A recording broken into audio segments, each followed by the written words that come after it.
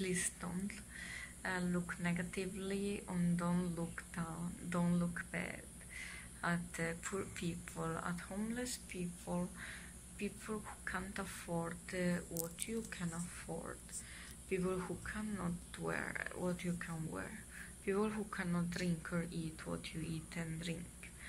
So please, my message is please don't uh, be harsh, don't judge, don't criticize who is poorer than you because you probably have been poor too and uh, they poor people are already suffering a lot probably usually poor people are already suffering really much.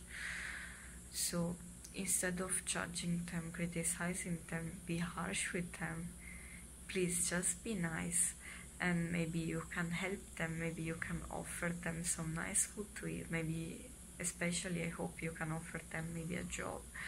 And so please don't look down to poor people. Help them. This is my message. And if you're poor if you want to change your situation and you're not poor by choice then just start your own activity blog uh, youtube channel um, just start with an idea and ask for funding online maybe even bank if if they can give you funds and um, or maybe just um, try to a work in something you never thought about it. Try with your hobby. To raise money with your hobby.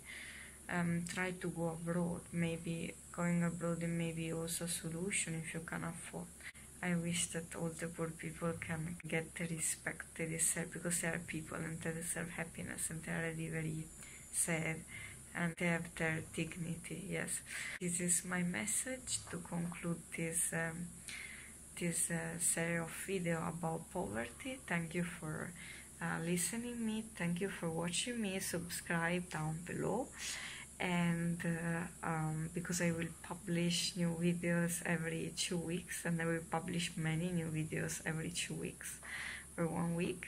Have a good day and uh, let's see you on the next videos.